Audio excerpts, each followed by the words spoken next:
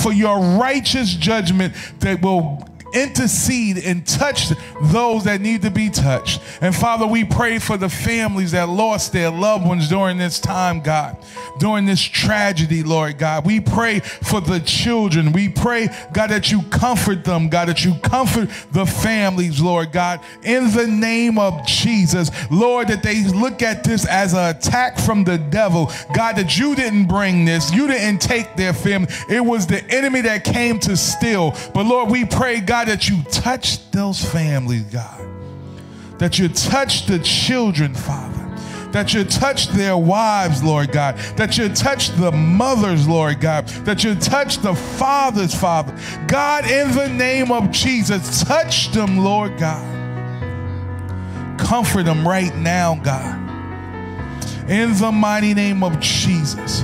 We pray for your comfort. We pray for your comfort, Lord God, that you send forth your comfort, God, that you give them peace of mind, peace in their mind, peace in their heart. Father, in the name of Jesus, hallelujah. So, Lord God, we thank you and we praise you, Lord God. We thank you, Lord God, that you will do it. We thank you, Lord God, that you're going to place your hand in the midst of all this turmoil, in the midst of all this calamity. God, that you will place your hand, God, and you will send forth your love. You will set forth your peace. You will send forth your comfort. God, in the name of Jesus. Hallelujah. Thank you, Jesus. Hallelujah. So, Lord God, we thank you and praise you, Lord God. God, we pray, Lord God, that you just have your way on this tonight's service. Father, we surrender all to you on this evening, Lord God. God, we surrender all, God, that you speak to us, you encourage us, Lord God. Father, that you give us wisdom on how we will how we will minister to our community. Lord God, you have opened the door for us to minister, to show forth your glory, to show forth your love, God. Father, in the mighty name of Jesus. So, Lord God, blow on us, Lord God.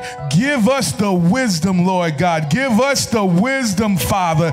God, that wisdom that comes from you, Lord God. God, as we go out to the streets, Lord God, and as we comfort the individuals that have been hurt, the individuals that have been attacked, God, that you give us the means to show forth your love to our community right now in Jesus' name. Lord, you said that we are the light of the world. So, Lord God, let your light so shine through us, God. You said that we are trees planted by the rivers of water, Lord God. Let those that are hurting be able to come to us and feed and feed on to the fruit as we walk in the fruit of the Spirit, God. In the mighty name of Jesus. Hallelujah. God, that you will get the glory, Lord God that you will use us for your service, Father.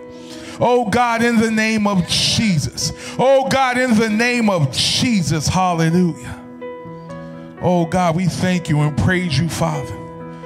God, as you give us wisdom on how to reach our community. God, as you put the place your love on in our hearts, God, so we can hug those that need to be hugged, so they can feel your presence, so they can feel your glory, God. God, in the name of Jesus. And Father, we pray that through this situation, God, that you will draw them closer to you. Oh God, in the mighty name of Jesus. Lord, that you will draw them closer to you, Lord God. Father, we thank you and we praise you, God. We glorify you and we give you praise. Hallelujah.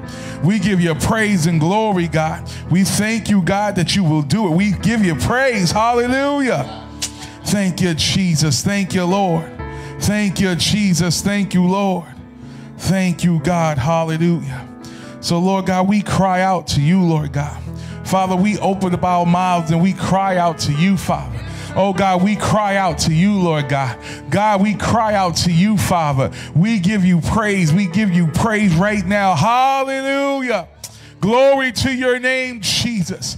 Bless your name, Lord God. We give you praise. We give you glory, Lord God. We worship you, God. We give you all the honor, Father. In the mighty name of Jesus. Hallelujah. Lord God, as we touch and agree and come on one accord, Father. And we thank you, Jesus. Hallelujah. Thank you, Jesus. Hallelujah. Thank you, Jesus. Hallelujah. Thank you, Lord God, that the works of the enemy shall be destroyed. In your name. In Jesus' name. Hallelujah.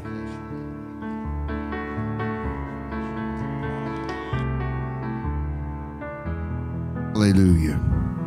Thank you, Father. Father, in this place tonight, God, you taught us in your word that you are the Prince of Peace. And that, God, you would release peace that surpasses all understanding. God, if we ever needed peace in our lives, peace in our community, we need it now.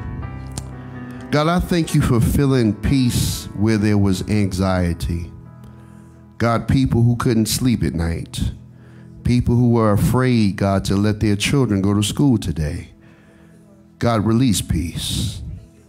Release a peace that reminds us, God, that no matter what the enemy does, you're still God. Release a peace that reminds us, God, that we don't have to now all take up and find weapons, God, to protect ourselves but that Father God, you are the God who protected us before the tragedy, and you're the same God who will protect us after it. God, that, that your angels are still encamped about us. Hallelujah. Keeping us from all hurt, harm, and even danger. Thank you, God, for being there, God, when nobody else is around. Speaking to us, God, when no one else can seem to get through to us, God. You are faithful. Hallelujah. You're faithful, God. You're faithful, God. You remain the same yesterday, today, and forever. What a faithful God we serve, oh God. What a wonderful God we serve, God. What a what a mighty God. What yes, you are, God. I, I dare not let anybody say that you're not who you say you are. You're still mighty. You're still wonderful. You're still Savior. You're still good. And Father, I pray tonight, God, that in times like this, that everybody across this city will do what the Bible says teach us to number our days. God, help us, God, to not, Father God, ask, Where are you when things go bad? When you have to ask, Where are us when things are good? Help us, Father God, to not miss one day of giving you praise. Help us, God, to never wake up without starting our day by saying, Thank you for opening our eyes. Hallelujah. God, we are more appreciative of your presence than we've ever been in our lives. God, help that, God, appreciation and thanksgiving to never go away. Because, God, thanksgiving is how we enter your gates. You said, enter your gates with thanksgiving and enter your courts with praise. And so tonight, as a church, God, we, we thank you for giving us this another opportunity.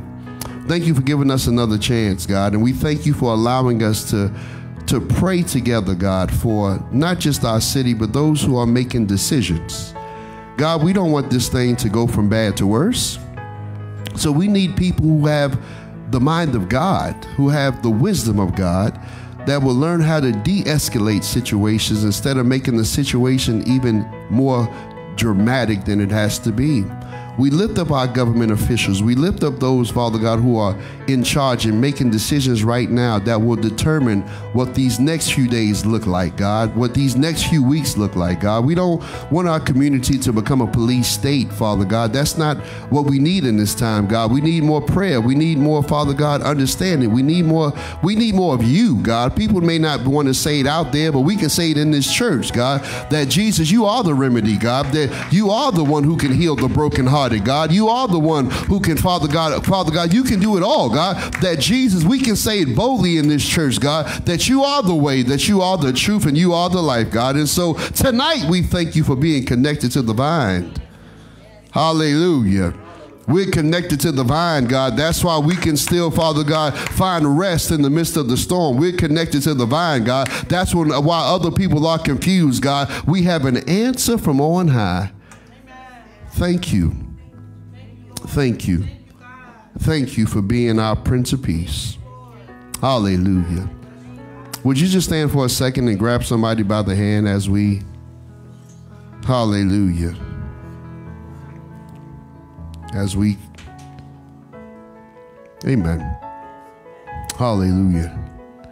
God, because we just want to be connected. And we give you a corporate thank you. Amen. Thank you for the hands that I'm holding right now. Thank you for my brother. Thank you for my sister. Thank you for their lives. Thank you for their destiny. Thank you for their future. Thank you for how good you, you have been to my brother and sister and how good you will continue to be with them. Lord, we are a body, Father God. We are a family, God. And we thank you for, God, what you're doing in us, through us, and for us. Tonight, God, we simply say, have your way. God, because when you have your way, things always turn out better.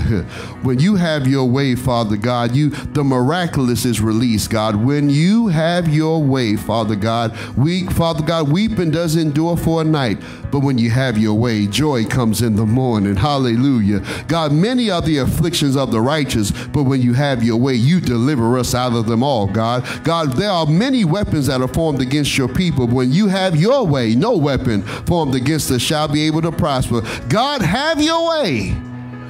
Have your way in everything that's going on now. Have your way. Have your way. Have your way. And as you do, we'll be very careful. We promise to give unto you all the praise, all the honor, and all the glory. Thank you, Lord, for doing it, even now. Jesus' name. Amen. Come on, let those hands go and give God some praise in the house of the Lord. Hallelujah. Come on, I feel better when we praise Him. It's, I feel better, so much better. Something about praise is something about worship that just shifts the atmospheres. Amen. Do, do me a favor before you take your final seats. Would you hug two or three people? Just tell them you love them. Times like this is just good to let some people know I love you, man. Amen. I just love you, love you, love you, love you, love you. Praise, praise the Lord. Hallelujah. Just love you, love you, love you. God is so good and he is worthy to be praised. Hallelujah. Just good to know. Facebook Live family, y'all to type that. I love you. Amen. Just spread the love, even on social media. Amen. I love you. I love you. I love you. Amen. I love you. Hallelujah. Hallelujah. Hallelujah. God is good all the time. And all the time, God is good. Well, listen, family, of course, I'm not going to um, dig too deep uh, but you know, of course, tonight, you know, I'm so grateful that that all of you are uh, okay. And you know, yesterday, because I know we have some people watching, and yesterday was very, very traumatic uh, for so many different reasons. And you know, right now, um, tonight, I'm not going to jump into it. Uh, I'm going to be dealing with it. Uh, Sunday because you know we're, we're, we're prayerful. One things I've learned to be is prayerful um, sometimes you can respond too soon. Uh, so we're just hearing the voice of God as a church and just, you know, praying about what what would the Lord have us to do as a ministry in times like this. But, you know, I heard somebody say, man, I'm tired of people praying. Well, that's because you don't know the power of prayer. Amen. Uh, I said it on my, my live feed today. You know, I think, you know, after we pray, there are some actions that we need to do. But you listen, don't ever discount the power of prayer. Amen. Uh, and so, you know, whether you receive prayer or not, I'm going to keep praying. Amen. Uh, somebody said they should have put prayer back in schools. Well, as long as I'm in the school, prayer never left. Amen. Because you might not pray as a class, but I'm going to be praying over there by myself. Praise the Lord. So, so we're going to be prayerful, but I just want to put that out tonight because I know normally when we come, it's like when something like that happens, uh, you know, I like to address the elephant in the room, but I just want to give you heads up that you know I'm really you know it's amazing. God put something in my spirit for Sunday before all this happened, and as things transpired, everything He put in my spirit for Sunday, I said, now I get it, Holy Ghost. So. So I want to encourage you, be here Sunday morning. We are going to speak to our city Sunday morning from this pulpit. God always has a word. Amen. Amen. But tonight I just didn't really feel like it was time because there's so much still happening. But I think by the weekend we'll have a clearer picture uh, what's going on. But uh, once again, I just want to say to those that are watching us tonight, because a lot of people have been sort of checking in with me, that we're praying for our city. Uh, I told somebody, I love my city. Amen. I love my city. Amen. Because, you know, people are quick to, to start talking negative. You know, I can't wait to leave Jersey City. Nah, listen, I understand how we can feel that way, but uh, I love my city. I've been called to this city. And, and somebody said, Well, how can you love a city? I said, Well, how can you serve a city you don't love? Amen. And so I've been sitting here on assignment. Amen. And and we're talking about being the light. Come on now. I mean, light shines best in darkness. Amen. And so I, I look at these things as opportunity for the light to shine, amen. Because I still believe God can turn everything around because He turned me around. Praise the Lord. And, and y'all don't know, y'all pastor was a mess, amen. But God got a hold of my heart, man. And, and I'm here tonight and pastoring you because God got a hold of my heart and He made some changes in my life. Don't you tell me God can't change nobody. If you if you don't believe God can change somebody, you ain't better change somebody. Y'all heard what I said? If you don't believe God can change somebody, you ain't to change somebody. I'm going to change somebody, so I know what the Lord can do. Somebody say amen to that. Amen. Matter of fact, you have to bless God right then one more time. If you believe with me that God can change things, He can change people, He can change cities. Come on here. He can change communities. Come on now. He can change states. Come on here, somebody. Our God can do it. I know He can. I feel the Holy Ghost. I said, I know it that God can do it. Amen. So we are believers. Amen. Don't you let none shake your faith. Amen. We're believers. Amen. Jesus didn't promise me that the hard times wouldn't happen. He didn't promise me a life without storms, but he promised to be the captain on board. Amen. Praise the Lord. And so we are grateful that in the midst of everything, God is still God. Amen. He's still God. Amen. All right. Well, I got that out the way. Let me uh let's do some teaching tonight. Y'all all right? Yes, we are. Amen. We can do some teaching tonight. Uh, that's why I told you we're going to be jumping into this. Like I said, don't miss Sunday, man. Sunday, we're going to address what I believe the Lord is saying to our city right now. Um, and He's saying something to our city right now, too, but I'm going to deal with it more directly Sunday. so, Matthew 5 is where we want to go back to. Matthew 5. Praise the Lord. Matthew 5 is where we want to go back to. He's so wonderful and so worthy. He sure. And I love him like that. Matthew 5, verse 13. I'm going to say something to my sound ministry because I'm always, I used to fuss at them all the time, but y'all got a brother sounding good tonight. I feel like, I feel like I'm in Megafest. Tell seven people to get ready, get ready, get ready. Man, I feel y'all gonna make a brother want to preach with this sound. Man, Matthew 5 and 13. And the Bible says, You are the salt of the earth. But if the salt loses its flavor, how shall it be seasoned? It is then good for nothing but to be thrown out and trampled under the foot of men. You are the light of the world. A city that is set on a hill cannot be hidden. Nor do they light a lamp and put it under a basket, but on a lampstand, and it gives light to all who are in the house. Let your light so shine before men that they may see your good works and glorify your Father in heaven. Go with me to Mark. Keep your place there. I got to come back there, but I want to go with me real quick to Mark 1. Mark chapter 1. Mm-hmm. Keep your place there. Don't lose it. Mark chapter 1. Just take a right. And the Bible says in verse 21 Then they went into Capernaum, and immediately on the Sabbath he entered the synagogue and taught. And they were astonished at his teaching, for he taught them as one having authority and not as the scribes.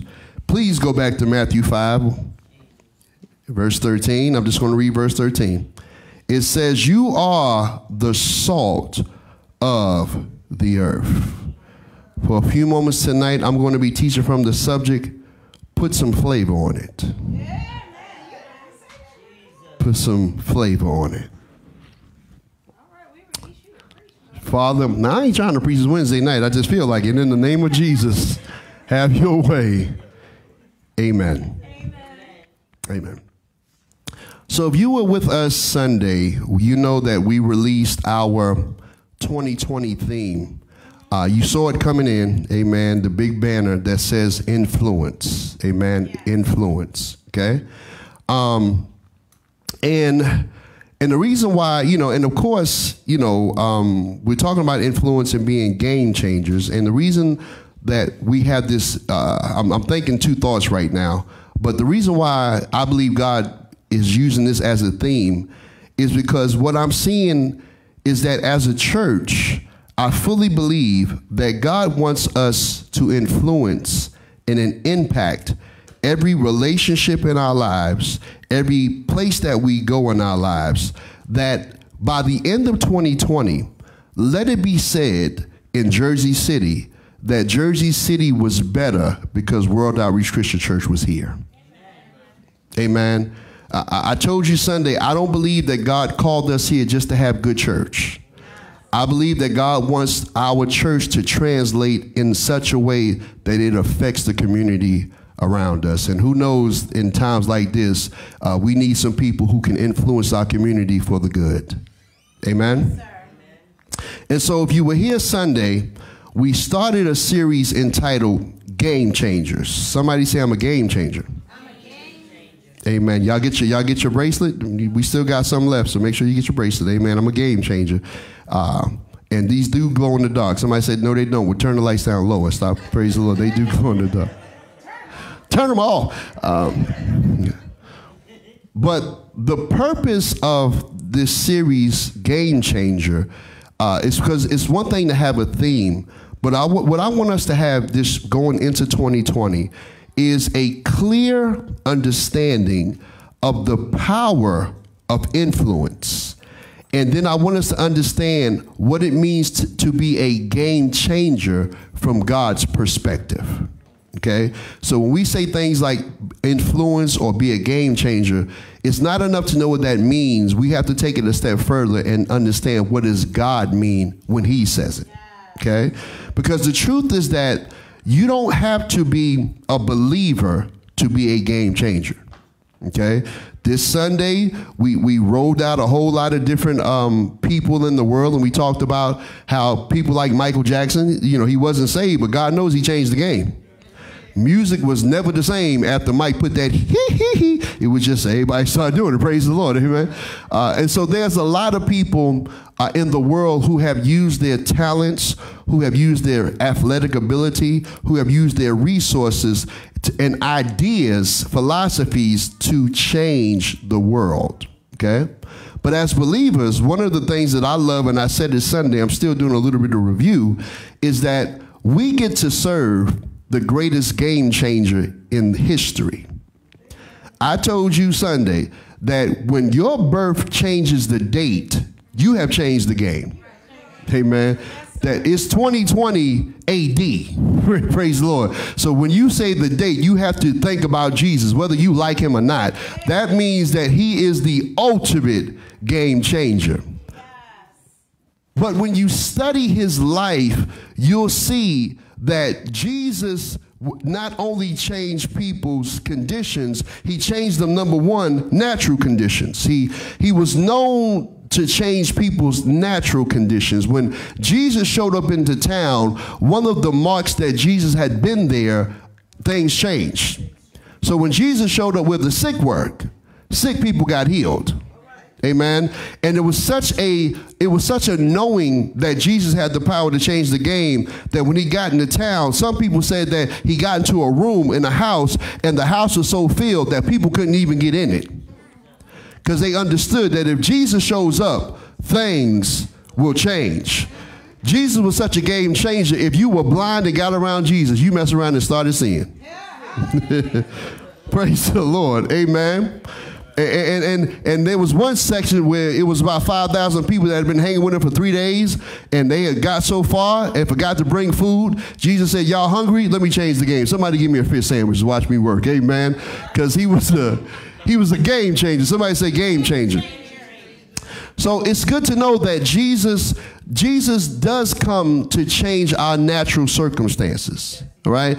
Being saved should should have some level of enhancement in your natural lives. Okay? It's okay to be saved and expect God to heal you. Somebody say amen to that. Okay? But the thing I, I, alluded to Sunday is that if Jesus never does anything about our natural condition, the number one thing he came to change was our spiritual condition.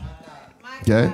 If he does nothing else, the number one thing he came to do was change your spiritual condition.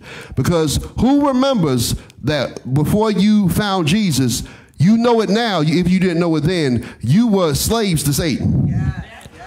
We operated in what was known as the kingdom of darkness. Amen. But one day Jesus showed up and everything changed. Amen. Jesus such a game changer that he did it at the altar. I'm going to leave that alone. I'm not trying to preach tonight. Amen. But I'm, I'm glad that when I came to the altar, my whole reality was turned upside down. He is a game changer. And not only did he change my spiritual state, he changed my spiritual destiny. Amen. Because I went from going to hell, now heaven is my home. Praise the Lord. And so, Matthew 5, verses 13 through 16, we just read it. Uh, Jesus gives us two qualities of being a follower of Him. And those qualities are we become salt and light in the world. Okay? Salt and light in the world. Now, two things that salt and light have in common is that salt and light are both agents of change. Okay?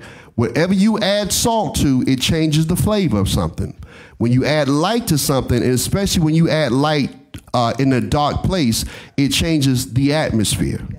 Okay? Somebody say amen to that. Okay? So, what does that mean, being salt and light? Being salt and light are not, those principles are not for yourselves. Okay?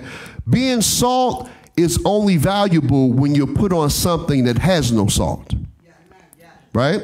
Being light means nothing if you're surrounded by light.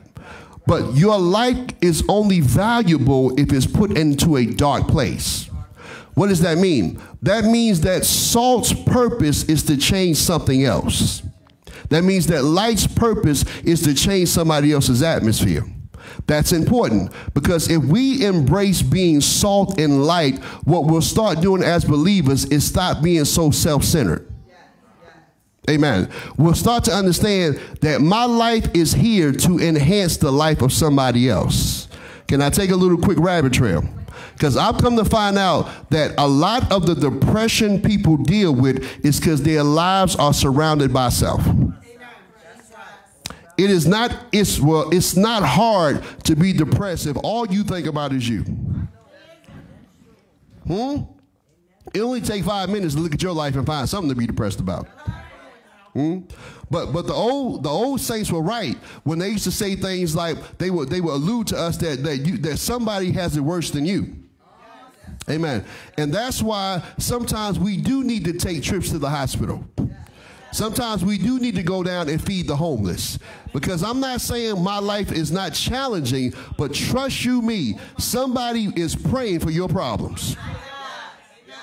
Amen. Am I talking right? Amen. I know a lot of uh, I know a lot of married folks. Now I'm not talking about you and these marriages that's of the devil. I'm just talking about your marriage is not ideal. But you'd be surprised how many single folks wish they had somebody to call a spouse. Somebody say amen to that. Amen. And so, one of the things as believers, we have to start seeing our lives being valuable beyond ourselves. As a matter of fact, if salt stays in the shaker, it'll never know its potential. Salt only knows what it can do when you take it out of that shaker and put it on something that needs salt. Is that all right? And so Matthew 28, I feel my help coming on, me, Minister Tony. Matthew 28, verse 19 through 20. 28, verse 19 through 20.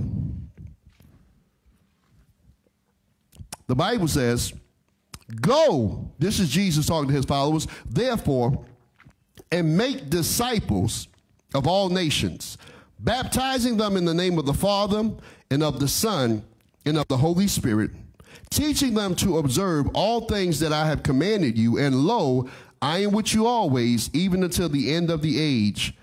Amen. Okay. So Jesus gives this call to his followers to go and make disciples of all nations. I want you to notice that when he tells his disciples to go make disciples, he's talking to all and not just this elite group. Okay? Because we need to understand that the call to go influence the world or make disciples is a call to every believer. That you don't need to have a title to have influence. Somebody say amen. Amen. You, you don't need to be bishop nobody to make change in the world. All you have to be is a true believer. Because the second point I want to make here is that in order to make disciples, you have to first be a disciple. Amen. And, ha- and, and there is a difference in being a disciple versus being a believer.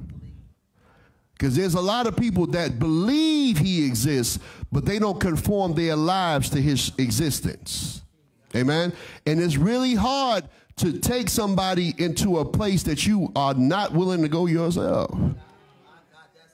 Amen. Somebody say, I'm a disciple. And so, this call to discipleship, that's why we just came out of this series deny, die, and do. Because when you put it on, it's easier to give it out. Praise the Lord. So, we need to be disciples. Now, when we talk about discipleship, we talked about that, what it means to be a disciple, but discipleship begins with us, okay? We become disciples by following Christ, but our discipleship is incomplete if it never extends beyond us, okay? What am I saying? That salvation, it's good when you get it, but if our salvation never leaves our circumstances, it never influences anybody but us, then our salvation in, in, its fullest purpose is never fulfilled. Okay? Jesus didn't come just to save us, He came to save us that we might take what He's given us into the world. Okay? So there's a lot of people that all they want to do is live saved, live around saved people, and they don't want to deal with nobody who ain't saved. You know what that's called? Heaven. it's called heaven. Praise the Lord. But while you on this earth, I, am getting ahead of myself, but it's okay. Amen. Stop praying that God uh, uh, keep you around people on your job, and, and they all need to be saved. Well, get them saved. But until you do, be the person that bees the light. Amen. That bees the light. Praise the Lord. Because you mess around and find out, you work around all saved people if you want to, you're going to find out it ain't what you thought. Praise the Lord. Amen. And so, and so let me, let me give you, praise God. Matthew, uh, is that Matthew? Yeah. Give me uh, Matthew 5 and 13 again, but out of the Message Bible. Okay. Discipleship begins with us, but it's incomplete if it never, if our discipleship never changes, transforms, or influences anyone else but us. So, Matthew 5 13, Message Bible says, Let me tell you why you are here. You are here to be salt seasoning that brings out the God flavors of this earth. If you lose your saltiness, how will people taste godliness? Praise God.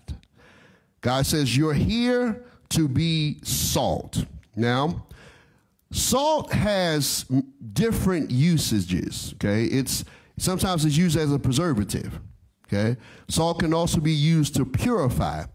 But the, the, the, purpose of salt that we are focusing on, which the Bible focuses on here, is its ability to season or change the flavor of what it's added to. Y'all got that? So when God talks about us being salt in this particular chapter, in this particular scripture, he's dealing primarily with the ability to change the flavor of what we are added to. Okay? Because I want you to catch something here. And, I, and, this is in John 10 and 10. I feel like I'm moving too fast. Am I moving too fast? Am I? Somebody say yeah, so I'll slow down. No? Should, somewhere? I'm going to find my gear in a second. John 10 and 10. listen to what this says. It says, The thief does not come except to steal and to kill and to destroy. I have come, Jesus is saying, that they may have life and that they may have it more abundantly. Did y'all catch that? The thief comes not except to steal, kill, and destroy. I have come that they may have life and have it more abundantly. The reason I want you to see that is because I want you to understand that neither God nor Satan shows up to be neutral. Wow. That's good. God nor Satan shows up in your life to be neutral. Satan's not coming just to hang around. When Satan comes into your life, he comes to change something. What does he want to do? He wants to steal, he wants to kill, and he wants to destroy. Please stop playing with Satan and think just because you're having a good time that he didn't come to do anything but hang around.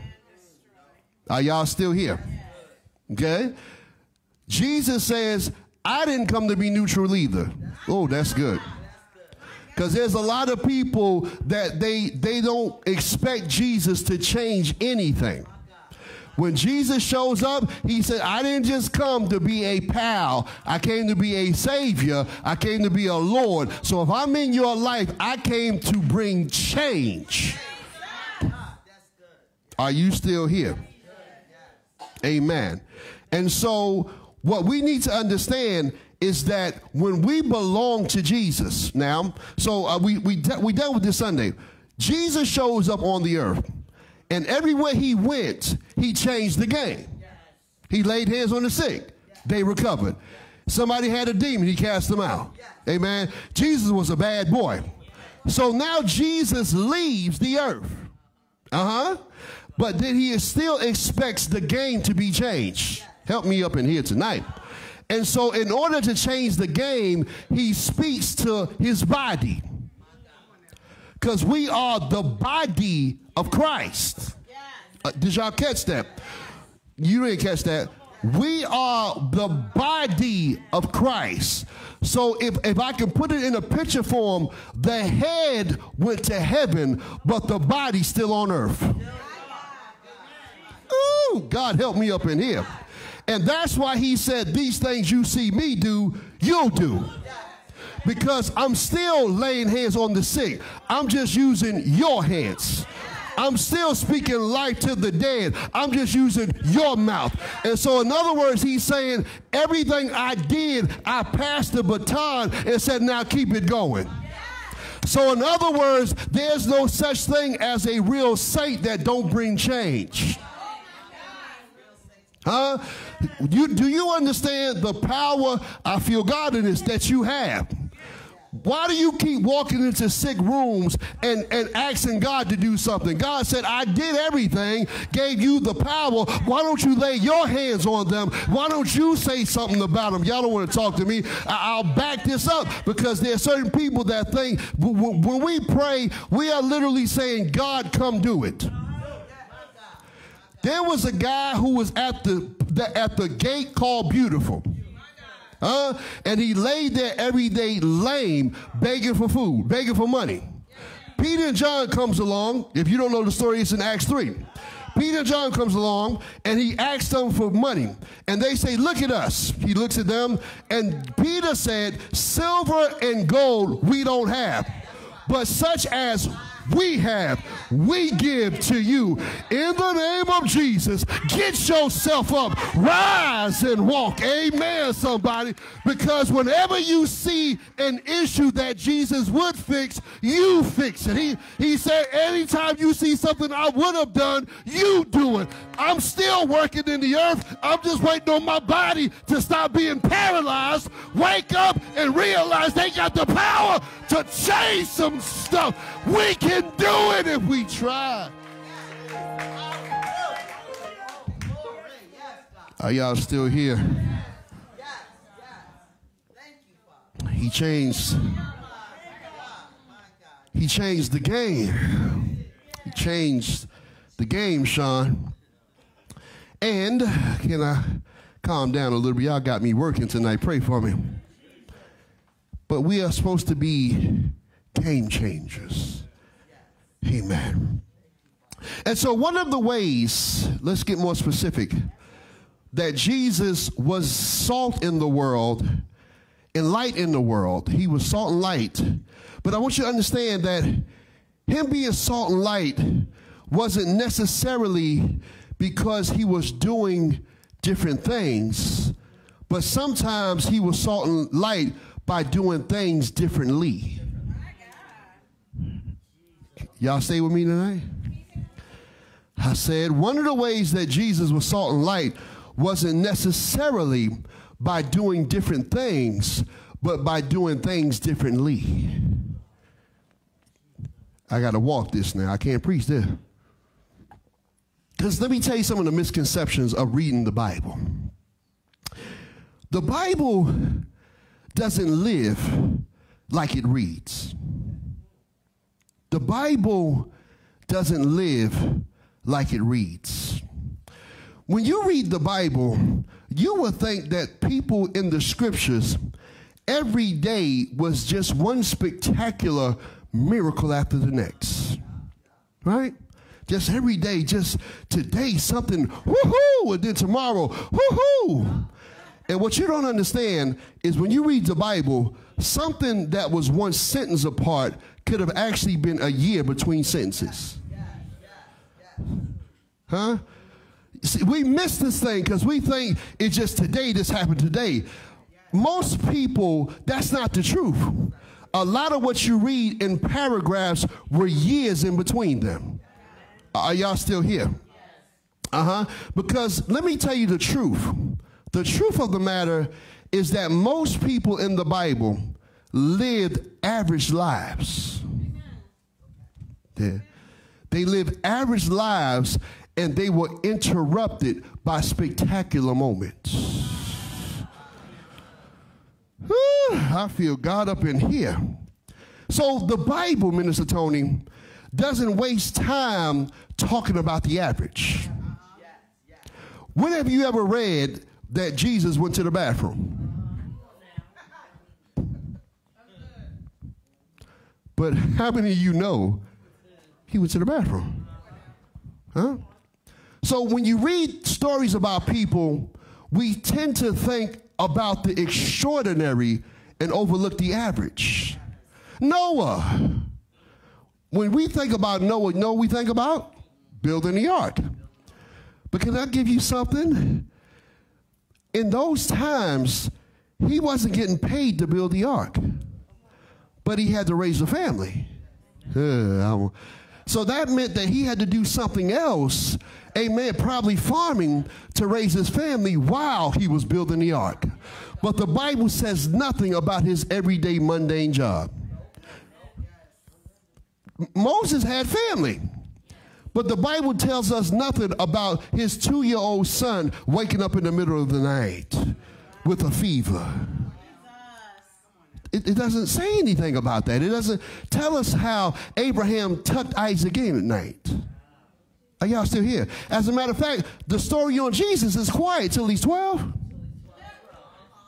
He's tw- so okay. Story starts. He's born, right, and then two years later, we see him again because the wise men show up. See, y'all either see see when the wise men showed up, he wasn't no baby. He was a toddler. That, that's Bible. Huh? The shepherd showed up when he was born, but the wise men, okay. And then from two to twelve, nothing.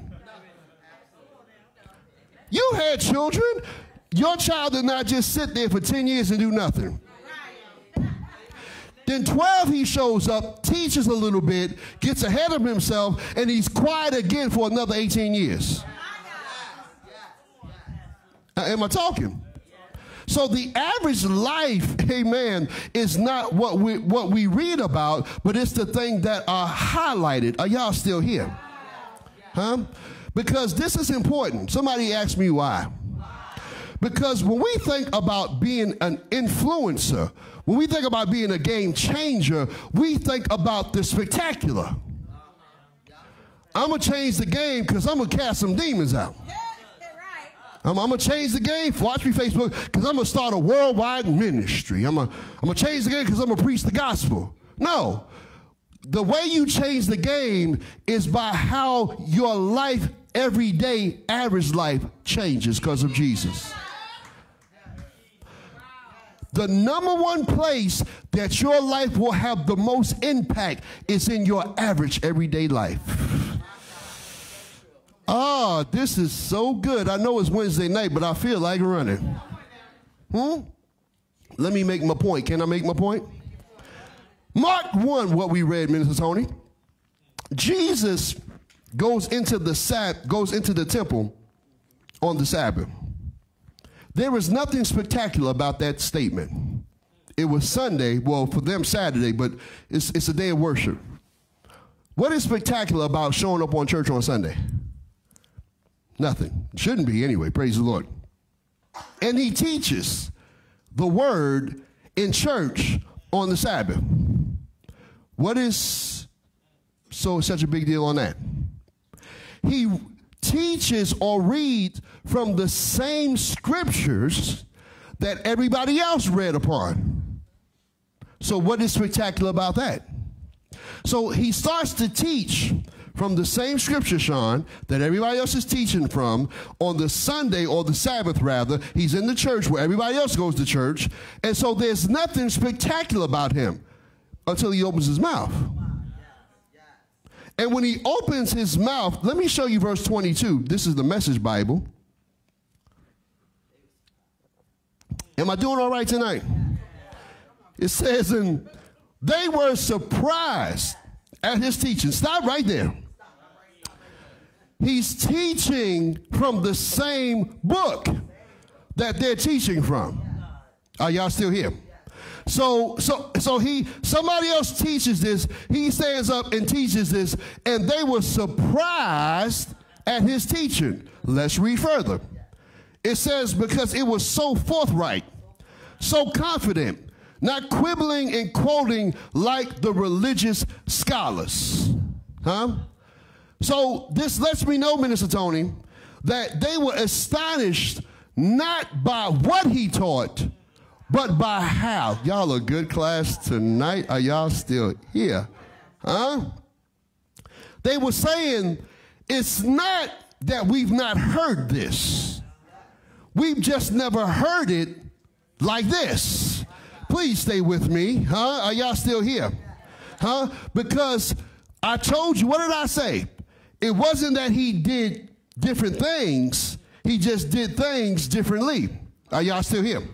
So his influence was not that he did something different, but how he did it was so differently that it changed the room. Stay with me. Somebody say amen up in here. Huh?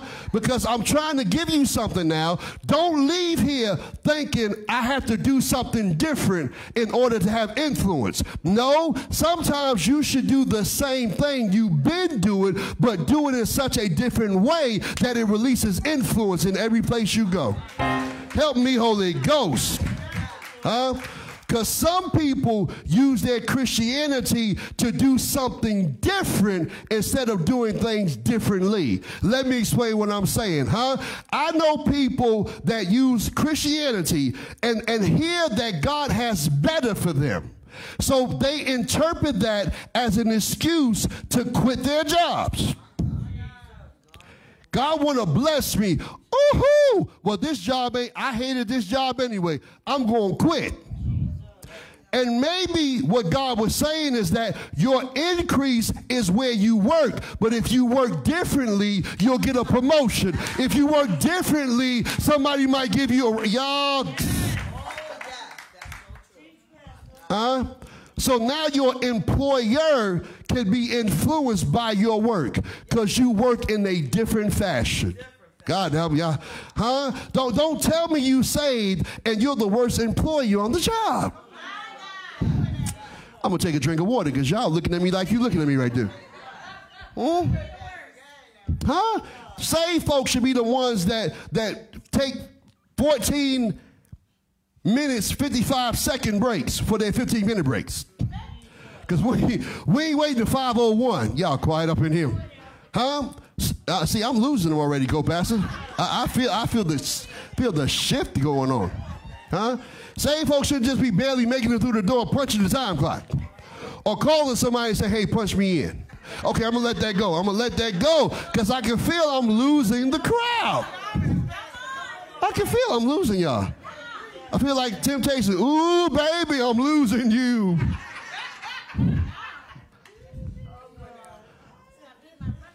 There are people that are tired of their families and use God as an excuse to neglect their families. Hey, help me, Holy Ghost. Because they'll say stuff like this uh, You know, I got to serve God. So that's why I ain't got time for y'all. Because I got to, y'all quiet, I'm losing them. Huh?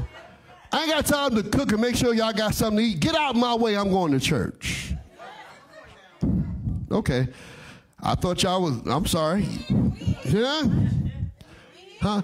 But, but instead of letting the God in you influence your family, Huh? When you show up, you should bring some salt with you. I didn't say bring judgment with you. I said bring salt with you. Amen. Because I can get judgment in the courtroom. Y'all want to talk to me. Amen. Come on, I feel God pushing me. Because the Bible said Jesus Christ did not come to condemn the world. Amen. So we shouldn't be condemning our family. Y'all ain't no good. That's why all y'all need to go to church. And they look at you, that's why we don't come to church. Because if you just mean at the cookout, how mean you gonna be when I get to church? Amen. Give me some salt okay, I'm gonna call and show me a reason to come to the house of God. Trying. I know folks that use getting saved because they can't stand these spouse. Oh, I better take a drink of water on this.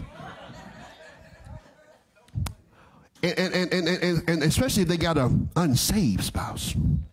Who walk lightly past the shot because they might throw their shoes at you tonight. And then they come across the scripture, Miss Lorraine, be not unequally yoked with unbelievers. There it is. I was waiting on that. I was waiting on that because you ain't saved. And the Bible says that I don't have to be unequally yoked with you. The Bible also says that if you have an unbelieving spouse, y'all don't want to talk to me and, and, and, and, they don't mind your faith. Come on now. Amen. Amen. Come on. It says the sanctified wife. God help me, Raekwon, because they ain't helping me up in here. Huh? And as a matter of fact, ladies, see, I'm gonna lose. We're gonna be an all-male church after this. After this, gonna be an all-male church after this. Because the Bible tells the same spouse, you ain't gonna win him with your words. You can't preach the hell out of him. It says, with your chase conversation. Say, I knew it. Amen. Amen. It says your demeanor ought to be so beautiful that he's like, my God, does God do this for you? I'm come. As a matter of fact, your family, friends, job, and everybody else should be able to say, Jesus, they are better because they got you. Oh, God, I can't. I can't.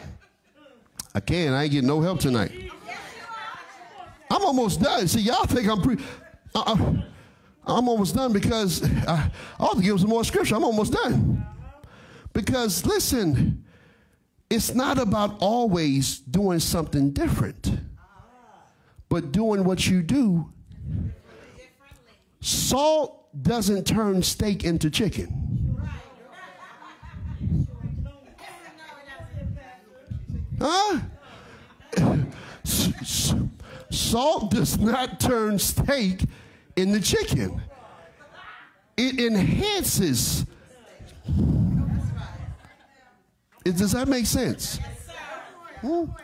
So, as salt in the world, I, I, gotta let you go. Give me some music. I'm, I'm done. I'm really done. I'm really done. This, I'm really done. I'm sorry. Y'all used to be preaching 45 minutes. This messes all y'all up. Like, give, I'm done. No, I'm really am. Listen, I'm, I'm sorry. Y'all greedy. Huh? Fire me, yeah. Listen. Salt. Because when we when we think about, I feel God, when we think about changing people, we're, it's almost like, Kenyatta, we want to exchange people. Uh, it's like an exchange. Can I tell you this and I'm going to let you go? I'm going to give it to you. I'm, I'm going to give it to you. I'm going to give you, like Anita Baker, I'm trying to give you the best I got. Last, listen, let me tell you what salt looks like. Personal testimony. So when, when God was coming after me, uh, and he finally had got me, he had backed me into a corner. So you know what you do when you can't run anymore? You try to give God excuses. So excuse one, God, I don't know if you you sure you want me. That's what I said. Is you sure? I said, God, listen, you know I'm a mess. He said, I got grace for that. You know, he ain't saying in those words, but basically what he was saying is that I'm not scared of your mess. So I'm gonna make a lot of mistakes, Jesus, because I know you only after perfect people. huh? I make a lot. See, y'all heard what I said. Lot of mistakes. See, I was up front because I was trying to talk him out of me. He was like, okay, cool. You heard what I said, Jesus? I'm gonna make a lot of mistakes. He said, we cool. So I said, I got him now. I said, I got him now. Because my idea, Minister Tony, of church people, can, I'm gonna just be honest with y'all, was some corny cats. Church, thank you, thank you. Somebody over there said facts. Because see, some of y'all only know this church, and you don't know Christians can be corny because your pastor got so much swag. I understand that. But but but if this, y'all ain't say amen when I said your pastor got swag, y'all better say something to me. Looking at me like, no, you don't. Yes, I do. Because when you got it, you don't need nobody else to tell you. I know it. Look at the socks tonight. Look at the socks tonight, y'all. Just kidding. So uh, I said, I got them now. I said, God, all these Christian guys I see, they're corny. The dudes, all of them wore button-up shirts to the top. Back when I got sick, I didn't own one suit. I, I, I didn't own a suit. I didn't own a tie. And I'm like, I can't go to church. I ain't got nothing to wear. And I said, so here's, so let me close this. So let me tell you how the Holy Ghost checked me. He said, Sharon, I said, yeah. He said, um, now he didn't use the word swag, but he said, let me, he said, Sharon, let me, let me, let me ask you something. He said, where do you think your personality came from? Where do you think your gifting came from? Where do you think your sense of humor came from? Because everybody ain't funny. I said, I guess it came from you. He said, it did. He said, Sharon, I didn't come to cramp your style. I want to use your style for my glory. Y'all still here? And so it was almost like he knew I was going to ask another question. He said, No, I'm going to prove it to you. I said, Well, prove it then. There's a guy in the Bible named Peter. Peter is fishing all night and it doesn't work. Jesus shows up, gives him a blues clue of where the fish are, catches all the fish. And then listen to what Peter says Jesus, get away from me. I am unworthy and unclean. Jesus said, Get up, boy. He says, Because I'm going to use what you know for my glory.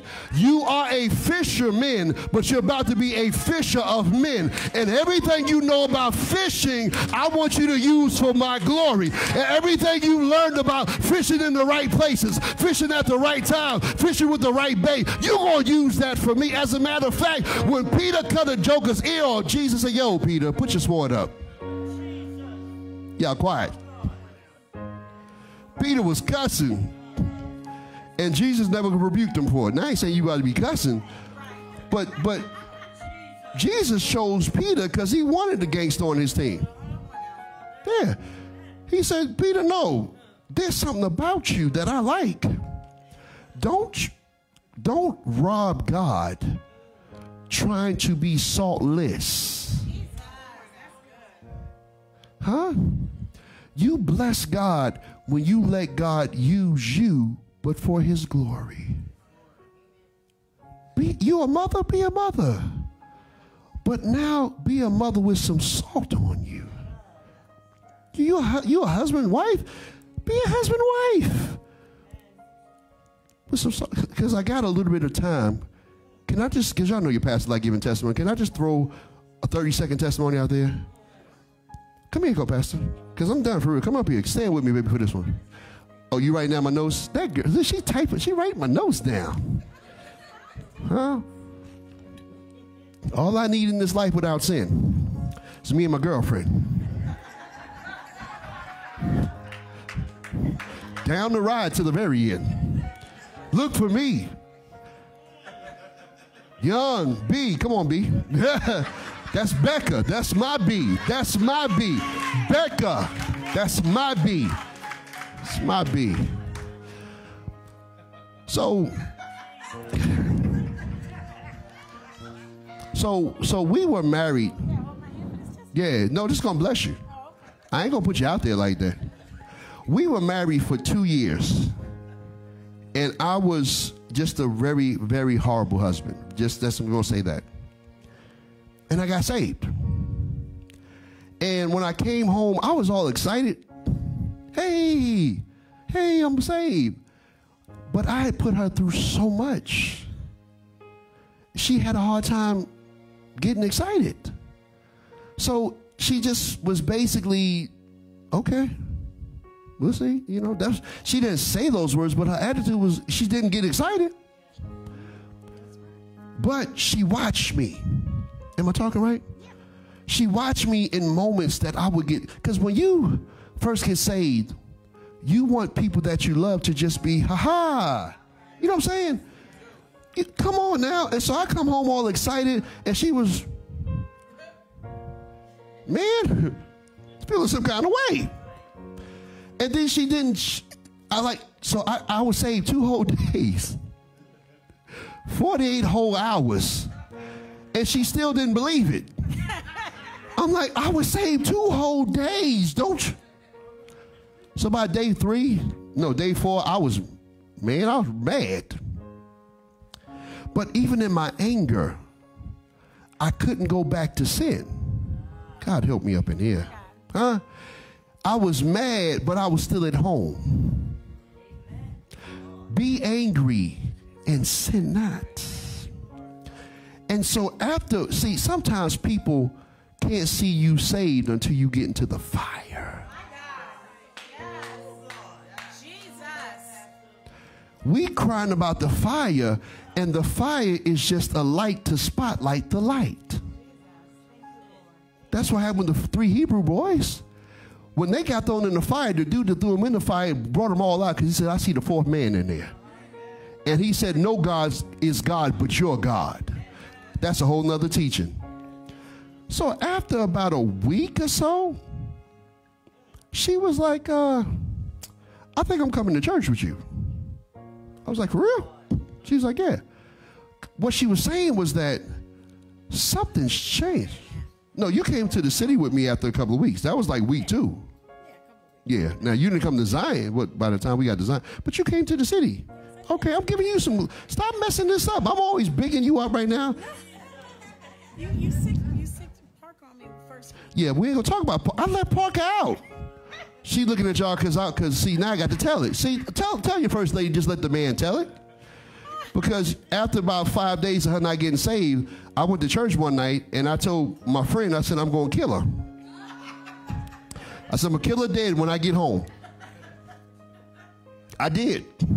And then he said, nah, he said, nah, brother. He said, listen, man, we going See, I gotta tell him that. He said, he said, Chiron, he said, listen, man, because then I got a prophetic word that night at a service, and, and the prophetic word was God's going to give you a new wife. Thank God I knew he meant this one. I knew what he meant. So me and my friend going home, now I'm gonna have to take this detour all the way back to my house. He said, man, Sharon, you heard what the word of God said. God gonna give you a new wife. And, and by the way, man, she ought to thank God she got a man of God now. And she ought to, man, she ought to be in this with you, man. We gonna talk to him when we get to the house. I was like, yeah. We walked upstairs. Co-pastor was sitting on the couch watching a movie, smoking a cigarette. I walked in, Parker walked in behind me, cut a TV off the last five minutes of the movie. He said, Sister, we need to talk. You got you a man of God, and you need to such and such. And I'm sitting there like, he said, Now we gonna pray. And he prayed, and I was, and she was looking at me the whole time like, Wait. Yes, she did. Wait. So then he, he said, I'm leaving now. And I was looking at him like, please. I had, I had that one tear coming down my eye. See, now I got to tell her. She said, let me tell you something. I was, she said, um, I'm going to go to this church. But don't you ever. I was like, I don't care. Just come to church. I don't care. Just come to church. So she came to church. See, okay, now you feel better. She like wanted to tell the whole story. Then she got saved because the man of God made her get saved. Amen. He made her. He walked to, he said, see, y'all are blessed. He walked to, he, he used to walk down the aisle and say, excuse me, ma'am, are you saved? And you be like, uh, he said, no, you don't know. Come on up here. I'll, I'll have to do that one day. Hey, let me, um, y'all saved? Okay, let me, um, so maybe I make me mess up my story. Okay, but what drew her to church wasn't my friend it was my salt. You understand what I'm saying? She saw something that said, This is not him. I know who I married, but something got on him. Amen. Huh? When I went to work the week of salvation after I got saved, I was there like two, three days. And one of my coworkers said, They called you by your last. They say Richardson. I was like, Yeah, what's up? You all right? I was like, Yeah. He said, Something well, what you what happened to you? I said, nothing. What you talking about? He said, nah, man, something happened to you, brother. Something happened. He said, you been here three days and you ain't cussed. I was like, and I didn't even realize it. Because I was in the Navy, so you cussing like a sailor, put it together. I was like, really? He said, man, three days and you ain't cuss. And he said, something, your demeanor's different. He was like, you just, so I, I was trying not to put it out there. I said, well, man, you know, I, I started going to church. He said, It ain't that. Because I done seen people go to church. That ain't what happened to you. I said, uh, I became a born again believer. He said, I knew it. But without even having, because salt ain't got to announce itself. Huh? I won't trying to, I didn't go to work the next day with, I didn't go to work with my big Bible. I had no big Bible. I ain't had no big Christian t shirt. I'm saved in the Lord now. Don't cuss around me. I just brought Jesus with me. And I didn't even know that I had been that transformed because you ain't got to work. Help me, Holy Ghost, to be salt. All you got to do is accept Him and He makes you salty. So I'm in right there. Is that all right tonight? Huh? Is that all right? Thank you. Hallelujah. As we go into the world, let's make sure that we add salt to everyone we meet, to every place we go, to everything we do, simply by doing what we normally do, but doing it in a godly way. Tell your neighbor, put some salt on it. Let's pray. Father, in the name. Well, before I pray, because I don't have to pray but so many times. As we're praying tonight, uh, well, we thank you for the word. Let me do that. God, thank you for the word. Seal this word in the hearts of your people. Amen. I pray that those watching, those here, that we will start to walk out of here and let your light shine. God, we want to be who we were, but we want to be it in a different way. Yes, God, there's some people that you might call to do something different. Yeah, you you you can. But the biggest place of influence is not in the spectacular. It's letting the supernatural hit the average. My God. Hallelujah. If we allow your power to touch everything we do, Hallelujah. then everything we do will be exposed to the salt. We thank you for doing it, God. Have your way. Jesus' name. Amen. Now put those hands together one more time and bless the Lord. Hallelujah. Well, it is giving time in the house of God. Somebody say amen to that. Amen. we we thank and praise God, guys, for every opportunity uh, that we get to give. Amen. We we are. And we want to make sure, guys. Uh, you know, I don't even though like last Sunday. You know, I told you, man, I don't like to break the flow. But one thing God has spoken to my heart recently is that giving is in the flow. Because it's just as much it's, it's, it's just as much a part of our worship as our praise and worship. And so listen, man, don't don't take it for granted the opportunities you get to give to the Lord. Amen. So you watching me Facebook Live, you know you can go to the website, man, and, and give that way. And if you're here, man, you know we have several ways to give via text, your old school envelope. You can go to the bookstore, but we want you to be a part, amen, of what God is doing. Somebody say amen to that. Amen. Way of a announcements. Um, what do you have, baby? Um, the very first announcement that I have is I want to remind everyone about this Sunday. It's our WOCC State of the Church address.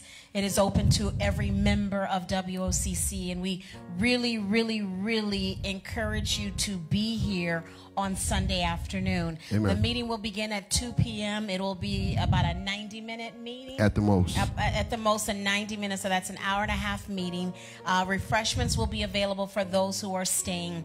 But again, I must stress it is for members only. Amen. So if you are a member of WOCC, sometimes folks are members we didn't know, so let us know. Amen. Please let, let me Let into us that. know. I just want to know. Glory be to God. Let us know. Like coming But, home with a um, kid. Who you is? right but um but it's very important because pastor will be um, going into a little bit more detail on our vision for 2020 Yeah. some things that we uh, accomplish in 2019 and then just some things to just be uh, having you prayerful about as members of WOCC uh, and and what God is doing uh, in our midst amen, Amen. Um, so we want you to make sure for officers in training please be reminded that we will be here on Sunday morning at 8:45 uh, so 8:45 officers in training, and we thank God for what He's doing in our He's officers. raising up some you wonderful should, people. You should definitely be, um, if you're a member of WOCC, be praying as God is um, training and instructing and developing these officers, because as He does it, that means that we're growing and we're Amen. expanding, and God is going to be able to do more. And so we thank God for that. So that's what I have in the way of announcements in regards to this Sunday. The following Sunday, which is Sunday, the 22nd of December, it is the Sunday before Christmas. Uh, and we are going to be celebrating, amen. We, we are, this year, um, we do not have a Christmas Day service, but it will be back in 2020 and thereafter. But um, on Sunday, the 22nd of December, we will celebrate, amen, because without the birth of Christ, there would be no death of Christ and there will be no salvation. So Amen. we um, definitely celebrate this season and we thank God for all the other things that we do, but He truly is the reason for the season. Um, on that Sunday, uh, we have a couple of things going on. Number one, it is the Sunday that we wear our ugly slash festive Christmas sweater outfit. Amen. We ask you all to be festive if you would like. There is a competition. Amen. And there are first, second, and third prizes. And so we're excited. We have some that are champions every year and they're coming, but we have some that said they're coming for them. Amen. So we're excited about that. And we have a great time celebrating that. And then afterwards, it's uh, Pastor and I, we have an entire treat buffet of candies and and I'm working on my song for this year. And those that were there that last year had a whole song for all the don't know what you're kids. I had a song. I'm working on And hot new one. chocolate. And hot chocolate, exactly. So it's a big treat buffet, candy, uh, cupcakes, and hot cocoa with all the trimmings. Amen. So be patient and get in line and go through that line uh, and and do that. Amen. And just a reminder again that we do not have service that Wednesday, and then New Year's That's Eve. uh, that's enough. Too many Oh, announcements. t- Yeah. no, no, New Year's we Eve? about to be another five minutes. no, just New Year's Eve. Mark your calendars, nine thirty. Yeah. p.m. last I, I put out a post about I don't know why uh, Ruby you must have been in my spirit but I just sort of felt like the New Year's was incomplete without T-shirts I don't got so dag so so so used to T-shirts so what we're doing is that if you are interested in getting a get a T-shirt for New Year's Eve we're gonna open up um, the ability to order one between now and 20 the 22nd but the money must be in first right we have to get at least 50 t-shirts to get a decent price in order to make this order worthwhile. If we don't have 50 t-shirts, then we're not going to get, we'll refund the money. But we're going to give you starting now up until the 22nd to order and get your money in. Um, but uh, you know, but if we get at least 50, t- 50 people, we will have T-shirts New Year's Eve, so Ruby can be happy. I think, I think she was praying and fasting about these T-shirts. Amen. And All right. this will be based on the 2020 theme. Yeah, this 2020 theme. The T-shirts say "Game Changers," so so it says "Game Changers." Okay. All right, stand to your feet. I have a few last things we're gonna pray, and then we're gonna let you go home. Amen. Uh, in way of praying, just some some we've had some um, we've had some unfortunate deaths. Uh, family members of members of the church. Uh, Miss Lorraine is here tonight, and she had an aunt that passed away uh, yesterday or the day before yesterday. So please keep her family uh, in prayer. Matter of fact, before she leaves tonight, make sure you love up on her uh, and let her know that we're here for you. We're standing with you. Amen. We believe in God. And then today, unfortunately, Brother Gentry's mother passed away. Um, and it was it was unexpected. Uh, it was an unexpected passing. So um, I got to be with there with the family and things. But just definitely, you know, these are times where you really need your church family. Yes. Amen. So he told me, he gave me permission to let you guys know if you do know him, if you have a relationship, you know, just send him a text or send him a call, but just let him know you, you love him, that we're praying for him. Amen. Because Yes. you guys know, uh, you know, that's when, when death is never easy. Never. It's never easy. Uh, I don't care how long somebody you love have lived. It's never long enough. But it's, it's extremely hard when it wasn't expected Yes. and then it's worse when it's your parent, right? So, um, so definitely we're gonna keep keep him in prayer. Um, so I just want to put that out there tonight, and we're gonna just, you know, like I said, once again, guys, one of the things that I want to make sure we do, we're talking about influencing the outside, but this year on the inside, let's be family this year. Yes, sir. Amen. Let's not just be members. Let's be family. Yes. Amen. And so don't just go home and live our separate lives. Somebody else needs your encouragement. Somebody else needs your smile. Somebody else needs your pick me up. Amen. So let's be there for one another. Amen. I said it in the beginning. I'm going to say it again. Please pray for us. Pray for your pastor. Um, you know, I'm a leader in this community. Amen. Uh, and so I don't mind that role, but I'm just, you know, right now, just trying to hear the mind of God um, as it relates to what happened recently yesterday. And so we've been, I've been in contact, but I'm just really being prayerful. Uh, this Sunday, God has already spoke to me about prophetically speaking to the circumstances. So this Sunday, we're going to be ministering what we're ministering, but more directly as it relates to what we've seen.